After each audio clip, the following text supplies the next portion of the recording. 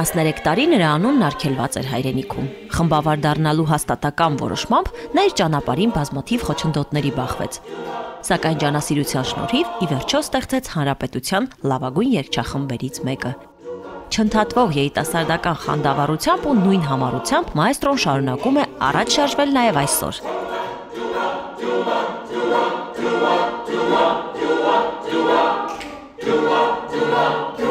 Հարություն Թոփիկյան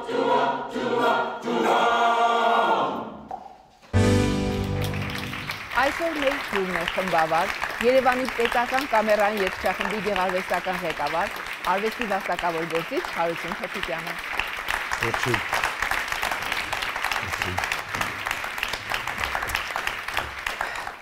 Մեր զրույցը սկսենք երևի ընտանիքից բնականաբար։ Ձեր հայրը հայրնադարձ էր։ Այո, Բուխարեստից։ Եվ ինչքան լսել ենք, նա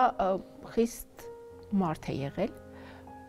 խիստ հայր եւ նաեւ ուսուցիչ հա երևի։ Գիտեք, խիստ, բայց սիրված ուսուցիչ է եղել։ Ես գիտեմ քաղաքում շատ հաճախ մայրս էլ ուսուցիչ է եղել, ինձ էլ է դասավանդել հայոց լեզու, բայց առ այսօր ես հանդիպում եմ մեծ իմ տարիքի կամ ավելի փոքր մարդկանց, որոնք ոչինչ շոյելու համար, այլ իրավամբ իրենց մանկության մեջ լավ հիշողություններ ունեն ծնողներից հետ կապված, որպես մտերիմ մարդիկ, բայց դասի ժամանակ մայրս էլ իմ հանդեպ բացառիկ խիստ էր, բացառիկ։ Այսինքն այդ խստապահանջությունը արդարացված է։ Այո, արդարացված էր, ես պիտի ասեմ, որ ես իմ զավակներին այդ խստությունը չէ, բայց պահանջկոտության իմաստով այդպեսին եմ եղել։ Պարոն Թապիկյան, մանկուց սիրում եք երաժշտություն, բայց երաժշտական դպրոց ձեզ չընդունեցին։ Ինչու։ Հետարքիր պատմություն է դա։ Ես կարծում եմ եւ առ այսօր միշտ ուշադիր եմ ինքս այդ սխալը թույլ չտալ։ Մարդը իրոք մի փակ, բայց լեցուն հնարավորություններով գախտնարան է կամ ինչ չգիտեմ այդպես չնկատեցին որ ինձ մեջ իհարկե այդ ամենը կար եւ ռիթմը եւ լսողությունը բայց ուրախ պատմություն կամ հետարքիր պատմություն որ հետ տարիներ անց երբ ես դառա արդեն մասնագետ երաժիշտ, ես այդ դպրոցում նույն տնօրենի օրոք 10 տարի դասավանդեցի, հա։ Այդպեսին էր։ Ձեզ չընդունեցին, կարծես թե ունակության բացակայության պատճառով, բայց հետագայում դուք սովորեցիք նվագել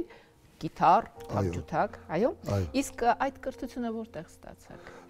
Գիտարը կարելի ասել ինքնուց կամ եթե հիշում ենք այն ժամանակ պիոներ պալատը կար, գիտարի դասավան եւ ժամանակներ այդ այնպիսին էին որ գիտարը հետո ավելի վաղ Beatles-ներ, բան այս վարակը կար, բոլորի ցանկությունը կար։ Հիշում եմ նաև Երևանը այգիներում տղաները քարյակներով նվագում էին մեծ վերելք էր ինչը կարող եմ այսօր ասել ջազային երաժշտության այդ վերելքը որ ունի Հայաստանը տաղանդավոր գիտարը արդեն հասկացանք իսկ թավջութակը թավջութակը դա շատ կարճ է եղել ելի այդ նույն դպրոց երբ արդեն 11 տարեկան էի փորձեցինք նորից որ իմ երաժշտական կրթությունը մասնագիտ բան իր ուղին ունենա սակայն ես այդ պատանի փոքր տար չսիրեցի թավջութակը այդ գործիքը տանել բերելը եւ ինքս հրաշարվեցի իմ արժեվ դրվեց ընտրելու խնդիր ես ընտրեցի գիտարը Իսկ որ խմբակն էր, որտեղ դուք սովորում էիք Ծախարութի հետ միասին։ Գիտարի խմբակ էր, չէ՞։ Չէ, խմբակ չէր, ասեմ։ Ես 8-րդ դասարանում էի, արդեն ռիթմ գիտար բավականին լավ ինքնուս կարողանում էի նվագել։ Մի խումբ ստեղծվեց, ես հրավիրեցի այդ խումբ, որտեղ Ծախարութն էլ էր նվագում, երեքս էլ հարութ էինք։ Կարծում եմ այդ պայմանը շատ հետաքրքրական էր։ Կարճ տևեց դա մի կես տարի ծնողներս այդքան էլ կողմ չէին, որտեվ համերգներ սկսվեցին դուրս գնալ, իսկ ես ընդամենը 8-րդ դասարան է, այստեղ կարելի է ծնողներիս խստության մասին նորից հիշել։ Եվ ես թողեցի։ Ես այդ խմբում Էրեբունի էր կոչվում, ես նվագում էի ռիթ գիտար։ Իսկ ընկերացակ Ծախարութի հետ։ Կարելի ասել, քանի որ այսքան տարիներ, ոչ, այդ տարիների հիշող, այդ այդ ամիսների հիշողությունը կա այդպես։ Դուք ավարտել եք Ռոմանոս Մելիքյանի անվան ուսումնարանի։ Չեմ ավարտել, 2 տարի եմ սովորել ու էքստերն կոնսերվատորիա եմ ընդունել։ Որից հետո ընդունվել եք կոնսերվատորիայի, երկու դեպքում էլ խմբավարական բաժիններում։ Այսինքն մասնագիտության նեղ մասնագիտական, այսպես ասած, հարցը որոշված էր։ Իդեպ կոնսերվատորիայում էլ ընդունելության ընթացքում դժվարություններ եղան, թե այս դեպքում ամեն ինչ հարթ անցավ։ Չէ, շատ հետաքրքիր եւ գոհունակ ինձ համար հիշողություններ ունեմ մեծ կոմիտասագետ Ռոբերտ Աթայանի հետ։ Մի հետարքի դրվագ եղավ, մենք ես այն ուսանողներից եմ, որ քննությունը տվեցին կոնսերվատորիայի հին շենքում հետագայում այդ սեպտեմբերից արդեն նոր շենքը բացվեց։ Հին շենքը ես Տերյանի Միխայել Տերյանի ուսանողն էի,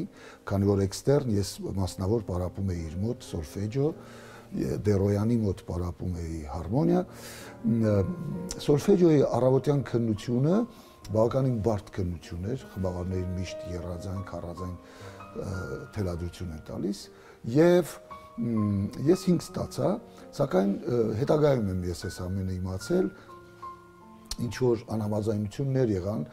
Ռոբերտ Աթայանի եւ Միխայել Արտեմիչի հետ, Տերյանի հետ։ Եվ մեր բանավոր քննությունը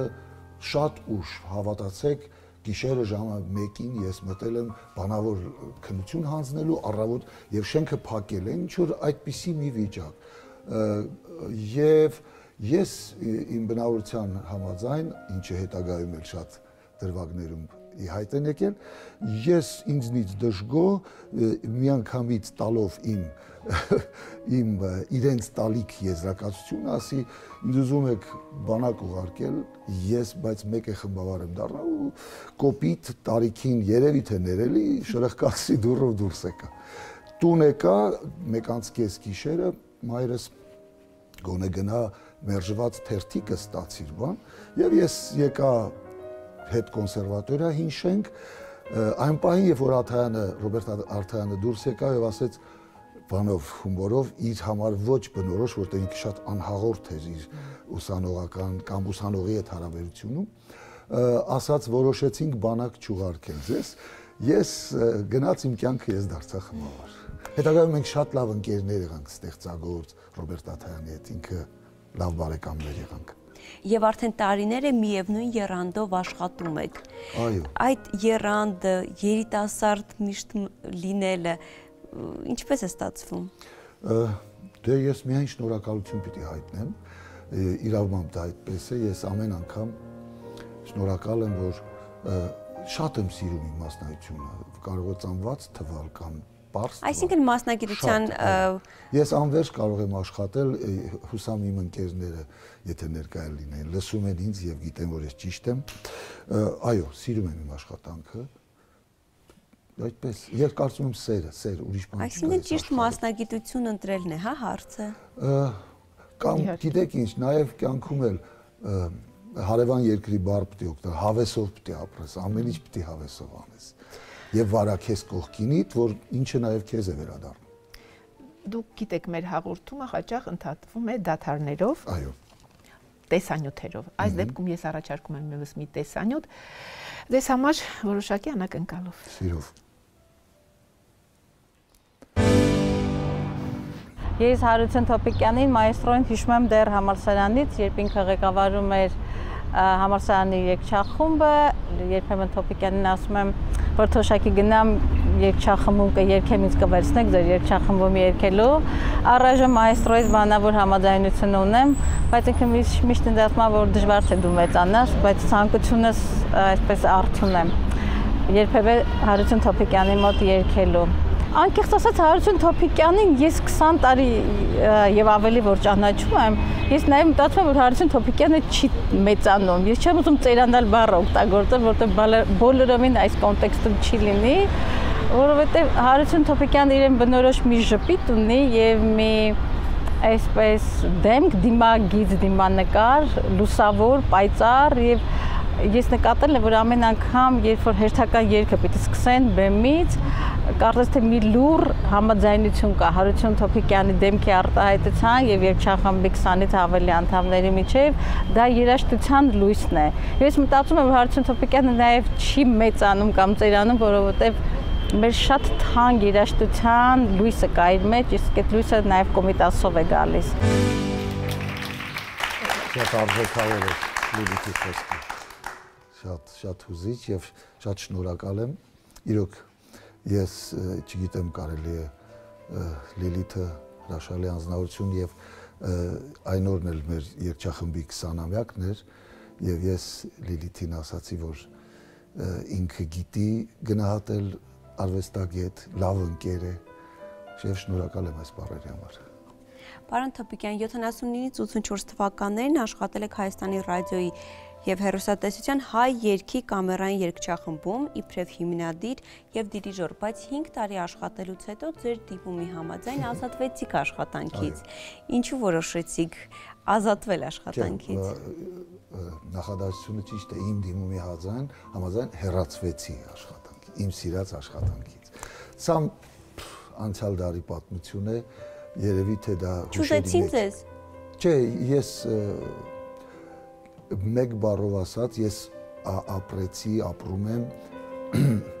ինքնուրույն, ինչը այդքան էլ հասարակության հասարակությունը հեշտ չի ընդունում։ Խորթային տարիներին առավել ինքնուրույն լինելը դա շատ թանկ վճարվող արժեք է, բայց եթե կարողանում ես մեծ բերկրանք է։ Այդպես ձևակերպեմ, մենք ունեցել ենք 5 տարիներ Էդգար Հովանեսյանի հետ ստեղծագործ ինչի արդյունքն է աշխատանքը եւ այդ 40-ից ավել խմբերքերը ժողովրդական այդ ժամանակ իրավամբ ասեմ մենք շատ մեծ անուն ուներ հայ երկի կամերան երգչախումբը իշնորիվ Էդգար Հովանեսյանի մշակումների ժամանակն էր այդպեսին 80-ական հայրենասիրական վերելք էր մտածողության երևի թե ամբողջ աշխարհում իսկ հետագայում եղան սկզբունքային անհամաձայնություններ եւ ես ստիպված իմ սիրած աշխատանքից հեռացա բայց ես սիրով պիտի ասեմ ինչի նորից այդ սիրո մասին է խոսում որ պիտի աշխատել սիրով ես այսօր էլ Էդգար Հովանեսյանի ստեղծագործությունները կատարում եմ մեծ սիրով զատելով իրարից մարդկային եղած անհասկացողությունները եւ արվեստը, որ արժանի է միշտ մեծարելու եւ հնչեցնելու։ Իսկ ծանր տարակ։ Իհարկե, իհարկե, ես երիտասարդ էի 28 տարեկան, 29 ես բավականին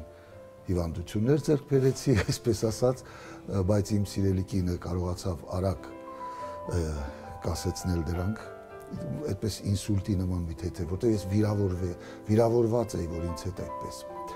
բայց դա ինձ տվեց մեծ ուժ, պիտի ասեմ, ես հասկացա, որ պետք չէ ապրել այդ սպասումով կոչումների, սպասումով ծափերի, սպասումով տողերի, որոնք պիտի գովերքեն քեզ, որտեվ պիտի ասեմ, այդ տարիներին ռադիոհեռուստատեսության Ստեփան Պողոսյանն էր ղեկավարը այդ պատվո տախտակին 6 ամիսը մեկ իմ անունը կար, սա փաստ էր։ Եվ պատկերացեք դրանից հետո խիստ հերաց բան կոլեգիայի նիստի դնել եւ այլն ու հերացնել, որովհետեւ ձևակերպում այսպեսին էր, որ ես չհարգեցի ունկնդրին։ Ես բեմ դուրս չեկա, բայց ես արդեն այդ պահին վատ էի, մարդիկ չհավատա, ինչև է, չեմ ուզում անկեղծ, չեմ ուզում անդրադառնալ այդ որովհետև երբ այսօր ես Էդգար Հովանեսյանի երաժշտությունը կատարում եմ, երբեք, երբեք դրա։ Եվ սա իմ հոգու հաղթանակն է։ Այդ մոռանալ այդ ամեն, ոչ թե դառնալ վեճի մաս։ Դուք այդ ամենը հաղթահարեցիք հիմա հետին թվով պարտությամբ նաև ասում եք այդ մասին, բայց չմոռանանք, որ այդ ձեր ցանկությամբ հերացումի այդ դիմումը ստորագրելուց հետո ձեր արժև փակվեցին բոլոր դռները եւ երկար ժամանակով ու դուք ստիպված հերացաք այո հերացա գնացիք Բեյրութ հա? Չէ այդ տարիներին ես ունեմ լուսավոր մի շատ լուսավոր ես հրավիրվեցի զուգահեռ էր դեռ չէի հեռացել եւ ընդամենը ամիսներ ինձ հրավիրեցին համասարանի երգչախումբը ղեկավարելու Խորեն Մեխանիջյանից հետո Եվ ես սիրով գնացի այնտեղ մի լավ երկչախումբ ստեղծվեց, ունեցանք իր հաղթանակներ։ Դա ինձ համար իրապես ստեղծագործական 9 տարի ես ղեկավարել եմ համալսարանի երկչախումբը։ Եվ դրանից հետո մեկնեցիք։ Դրանից հետո այո 91 թվականին հրավիրվեցի Բեյրութ համազգայինի հրավերով եւ 4 տարի այնտեղ նորից Բարսեղ Կանաչյանի ստեղծած Գուսան երկչախմբի արդեն նոր սերնդի նրանց զավակների հետ երկչախումբը շարունակելու։ Եվ հետո վերադարձակ 96 թվականին արդեն հիմնեցիք Երևանի կամերային երկչախումբը։ Ինչպես դա ստացվեց։ Գիտեք, կան բաներ, որ երբեմն պատմում ես, բայց անհավատալի են, բայց ես կփորձեմ պատմել։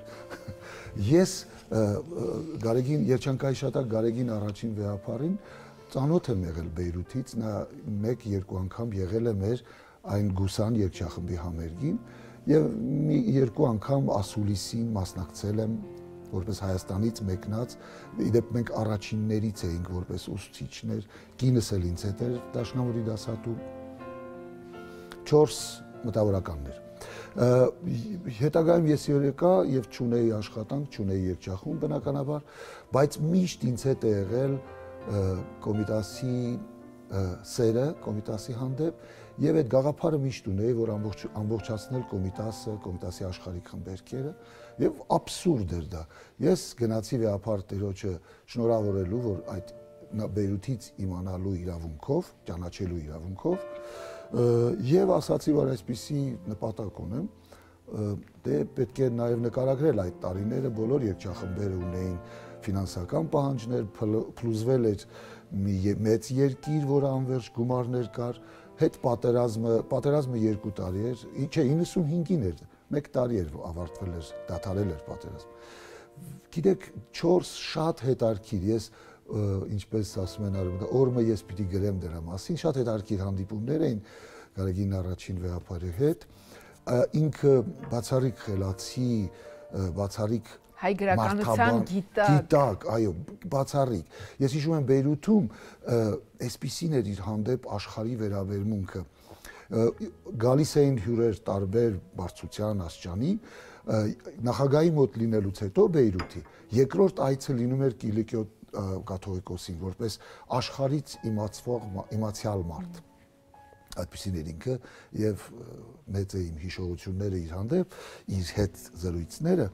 դրանք հետարքիր վերիվարո զրույցներ էին ընդཐུպ հիշում եմ որ այսպիսի մի խիստ բան եմ թույլ տվել նորից շարունակություն է տնբոստության վեապարը ասաց դրաս բոլոր կոմիտասյան ստեղծագործությունները կատարված են ինչ նորից այս պիտի անդա ես էլ շատ ըմբոստացա վրթովեցի ոտքի կանգնեցի Վեհապար Տեր ներող եղեք տոնիս համար, բայց ոչ ասածից։ Ով է այդ երկրորդ հանճարը, որ կոմիտասին զատում է լավ եւ վատ ստեղծագործություններ եւ համարում ենք, որ կատարված է։ Ես ես ներկայացնում եմ 147 խմբերքեր, որ չի կատարված։ Ընդամենը այդ ժամանակ 23 խմբերք էր պաշտոնապես հայկական ֆոնդում աններելի բան, այդքան ուրճացված, այդքան սրբացված կոմիտաս, բայց ընդհանրապես նրա Եվ այդքան անծանոթ։ Եվ կան առ այսօր, առ այսօր մենք շատ խնդիր ունենք դեպի մեր մեջ բերելու կոմիտաս, տուն գալու կոմիտաս։ Ինչևէ, եւ այս ինձ համար մեծ բան էր, դա նույնպես Աթայանի հետ կապված իմ հիշողություններն են։ Ես ամբողջ կյանքում կոմիտասի հավատարիմ մարդն եմ եղել, ինչպես շատ խմբավարներ եւ վեապարը հավատաց ինձ, որ դա օրվա օրվա խնդիր կամ օրվա բացը չեմ ես լրացնում, այլ դա իրոք իմ կյանքի նպատակն է եւ ես հիշում եմ այդ վրթովված զրույցի ժամանակ ես ինձ բնորոշ ինչպես նաեւ ընդունելության ժամանակ գնացի դեպի դուրը, ասացի ես ես կարծում եի որ ձեր նոր նոր ընտրյալ վեապարի օրոք մենք մեր մեղքերի թողությունը կանենք մեր հանճարի հանդեպ կոմիտա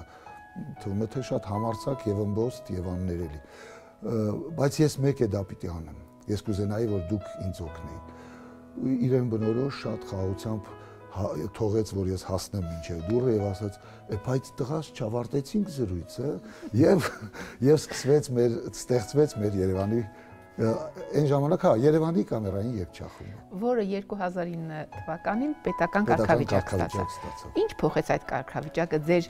երգչախմբի ստեղծագործական եւ ոչ միայն ստեղծագործական։ Պիտի ասեմ, որ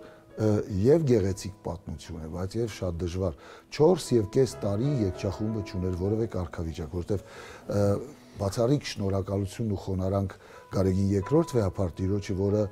5 տարի եւս շարունակեց ֆինանսավորել մեր ծրագրերը եւ դա մեծ մեծ մեծ գործեր մենք իրականացինք ինչպես Էդգար ասում եմ Էդգար Տիգրան Մանսուրյանի Ars Poetica-ն մեծ կտավի, որը առաջի կատարող է եւ ստեղծող ընկերն ենք եղել եւ շատ ուրիշ ստեղծագործություններ 2004-ին մենք ճունենք որևէ կարգավիճակ, շական սակայն շարունակվում էին հրավերներ, երկչախումբը 1-2 անգամ տարին նորից գնում էր հյուրախաղերի,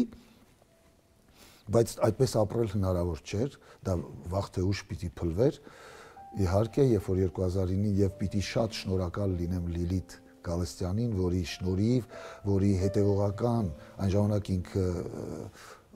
խորհրդարանի մշակույթի մշակույթի հանձնախմբի, այո։ Եվ գնահատելով մեր, գիտեք, ես ուզում եմ ավելի արժեքավորել Լիլիթի արած եւ ընդհանրապես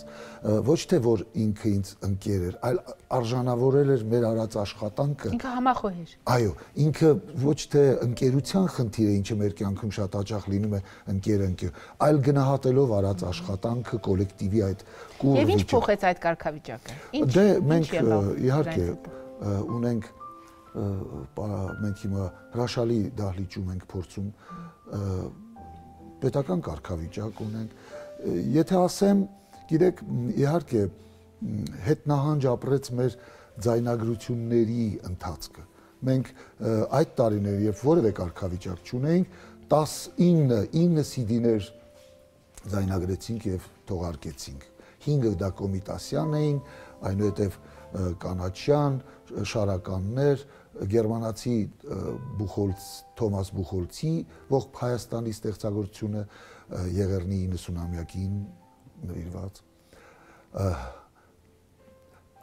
դա է մնացած Փարք Աստծո Պարոն Թոպիկյան առաջարկում այս պահին դիտել տեսանյութ Մենք աշխատում ենք որպես մի մեծ հրաշալի ընտանիք եւ իրոք երևի այն հազվա շատ հազվագյուտ տեղերից է, ուր որ մենք կարանք ասենք հաստատ, մենք վազում ենք գործի։ Նոր էի եկել եկչախումբ, փոքր էի 19 տարեկան մոտավորապես այն ժամանակ մի փոքր իրար չհասկացանք ես նաև ուրիշ տեղ էի աշխատում երեխաների հետ եւ նա խնդրեց որ ես գնամ 10 տարի անց որպես զավեշտ եմ ասում 10 տարի անց ես նորից վերադարձա եւ շատ սիրով մենք միասին աշխատում ենք իրար գնահատելով։ Ուզում եմ ասեմ, որ մայստրոն գնահատում է նվիրվածություն իր աշխատողների, իր ընկերների, ոչ թե աշխատողների, որովհետեւ մենք բոլորս իմ ընկերների հետ միասին մենք բոլորս նվիրված մարդիկ ենք մայստրոին։ Կարա մի ուղակի խոսքից չափազանց ուրախանա երախու պես բարանգվի նույնը կարա լինի եւ հակառակը մի ուղակի ոչ շատ կարևոր, բայց ինչ որտեղ հուզող մի այլ խոսք կարա տխրացնի իրեն։ Լավ ենք երկում ողջունում ասում, կեցես, արդեն գիտենք, որ շատ լավ է լավ չենք երգում, եթե իմ իմ բանով եթե զգում եմ, որ մայստրոն կեցես բառը չի օգտագործել, բան, արդեն ես սկսում եմ մտածել, կարող է վատ եմ երգել, ինչ որ մի բան այն չի, որ մայստրոն չասեց կեցես գագի։ Ինքը փորձերին շատ խանդավառ, անընդհատ էներգիա է մեզ տալիս։ Միշտ մայստրոին հարցնում ենք. Մայստրո ջան, դուք առավոտ շուտ ինչ եք ուտում որ այդքան էներգիայով լի եք գալիս փորձերին ասում է տվարոք, սբետան մեղրով միշտ ըստ սովորություն արդեն դարձած ինձ համար մոտենում եմ ասում եմ մայստրո, բայց մենք լավն ենք, չէ։ Նա այդպես հավաքում ասում է, ես կմտածեմ դրա մասին։ Շնորհակալ եմ։ Ահա այսպիսի ստեղծագործական լավ մտնոլորտում դուք բազմաթիվ համերգներ եւ անպայման ուզում եմ հիշել անցած տարի Եղեռնի 100-ամյակ տարելիցին նվիրված ձեր 100 համերգներ աշխարհի տարբեր երկրներում, իսկ ինչ համագործակցություն է Տիգրան Համասյանի հետ։ Շատ մեծ ստեղծագործական ինքը տարբեր մեկնաբանումներ ունի մեր հասարակության մեջ, բայց ինձ համար շատ եւ իմ կոլեկտիվի, իմ ընկերների համար ստեղծագործական մեծ հետաքրքրություն եւ վերել։ Գիտեք, կյանքում միշտ ունեցել եմ ստեղծագործ կյանքում վերաբերմունք, ինչը նաև կոմիտասն այդպես, դաշնամուրը եւ եկչախումբը դրանք չհամա տեղվող իրենց գունային աշխարհով չհամատեղվում։ Տիգրանը դա մի բացառիկ տաղանդ է, որը կարողանում է գույների աշխարհ դառնալ եկչախմբի մաս հոգևոր երաշխության եւ բացառիկ ենք։ Շատ տաղանդավոր մարդ Պարոն Թոփիկյան, երբ ծանոթացաք ձեր կնոջ հետ։ Օ։ Նա ձեզ դասավանդել է, չէ՞։ Այո, դասավանդել է։ Գիտեք, ուսումնարանում էր, ես հերվից հերու սիրահարված էի գեղեցիկ կնոջ, որին բնականաբար ծիծաղել էր մտքովս չպիտի անցներ, որ ես պիտի ընկեր դառնանք ընտանիք։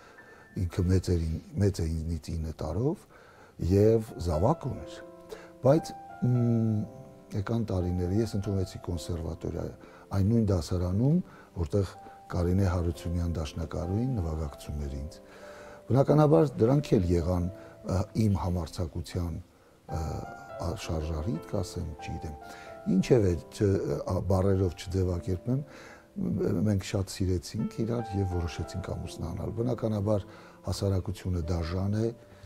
իրական սիրո հանդեպ միշտ ստուգելու, ինչպես մանկությունից ծնվում ենք քանդել, ջարդել, որ հասկանալ ինչ է մեջը, բայց սերը անհնար է, կյանքով է չափվում, Ստուգեցին, հա։ Ստուգեցին, հերացան որոշ մարդիկ ինձնից, մեզնից, բայց ես եթե այսօր իմ ընկերներին ցանկանում եմ բարի որևէ բան, կցանկանայի իմ ընտանիքի պես ընտանիք ունը 42 տարվա ընկերներ։ Միշտ միասին ենք աշխատել եւ այստեղ պետք է ասել ոչ թե 42, 84, որտեղ մենք անverջ միասին ենք։ Ձեր որդին երկար ժամանակ է բնակվում է Գերմանիայում։ Իսկ նա շարունակում է ձեր երաժշտական Այո, այո, ինքը լավ երաժիշտ է, դաշնակահար,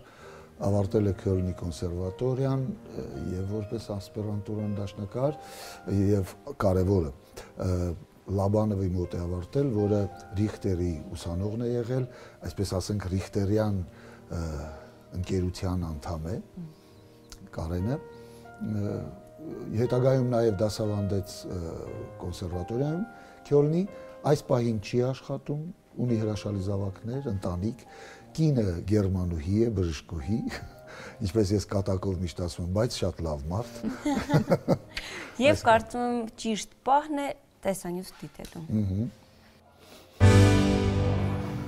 Ռադիո երջախմբով գնում ենք Հայաստանի շրջաններով համերգներ տալու եւ արդեն չեմ հիշում շրջաններից մեկում համերգ հայտարարելու հայտարարելու ժամանակ ասեցին Հովանես Հարությունյան իմ ազգանունը Հարությունյան մնաց, ես չփոխեցի ամուսնության ժամանակ։ Եվ շատերը հետո կատակ էին անում, որ դա это его девичья фамилия պես կատակ մնաց, բայց այդ կատակը շարունակվեց մինչև այսօր։ 9 տարի ես մեծ եմ Իրանից եւ դա շատ անսովոր էր բոլորի համար մեր սկիզբը մի քիչ դժվար էր այդ տեսակետից, բոլորին դա հետաքրքրվում էր, հետաքրքրում էր, բոլորը խորհուրդներ էին տալիս եւ այլն, բայց արդեն 40 տարի է միասին ենք եւ ինձ թվում է ինքնելագո։ Ես շատ շատ երջանիկ եմ հետաքրքիր բան կա բնավորության մեջ, որ երբ որ ինքը պատմում է ինչ որ բաներ, միշտ սկսում է շատ ավելի գեղեցիկ պատմել, քան թե իրականում եղել է։ Եվ երբեմն իհարկե պատմությունը շատ է գեղեցիկ անում, ես ասում եմ, չէ, բայց իրոք, բայց սենց էր, այդքան այդպես լավ չէ, էլի, այդքան այդքան մի քիչ չափազանցել չափազանցնելու, բայց լավ իմաստով չափազանցնելու։ Ամենակարևորը երևի հայրս միշտ կարողացել է իր սկզբունքներին մնալ հավատարիմ եւ այդ սկզբունքներով ամբողջ կյանքում շարժվել է։ Շնորհակալ եմ։ Այսա անսպասելի։ Ես կարծում եմ դուք հիմա դրական այնպեսի լիցքեր ստացաք, որ հանգիստ սրտով կարող եմ ասել, որ մեր ժամանակը սպառվել է։ Շատ շնորհակալ։ Շնորհակալություն շատ հաճելի եւ ովանդակալի զրույցի համար միշտ մնացեք։ Այսքան արդեն ուշ է, դուք այդպես էլ կլինեք ձեր սկզբունքերի տեր եւ ձեր սիրած զբաղմունքին նվիրյալ։ Շնորհակալություն ձեզ։ Իսկ ձեզ հիշեցնեմ սիրելի հեռուստադիտող այսօր մեր հյուրն էր խմբավար Հարություն Թոփիկյանը։